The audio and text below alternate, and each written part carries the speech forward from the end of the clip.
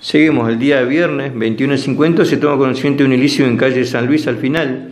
Allí se entrevista a un ciudadano de 33 años, chofer de la empresa Remis Pehuen, que hace mención que circunstancia de ir este, a dejar un pasaje en la calle San Luis y Verbel eh, y dejar a una, mujer con su hijo en el lugar, después que, eh, deja a estas dos personas, eh, es abordado por un joven, que en previo terminado con un arma de fuego le sustrae la recaudación y el teléfono celular.